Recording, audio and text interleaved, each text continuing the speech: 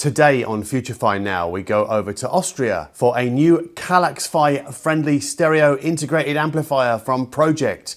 It's called the Stereo Box DS3. It has three line level inputs and an MM input and an MC input but the only way to access the internal DAC is via Bluetooth. The dual mono amplifier circuit gives us 150 watts per channel into 4 ohms, but at time of taping no 8 ohm rating has been provided. However, the star of this show might be the internal dedicated headphone amplifier circuit, which promises 450 milliwatts into 32 ohms. The StereoBox DS3 can also be customized with magnetic wood side panels and it's made in the EU.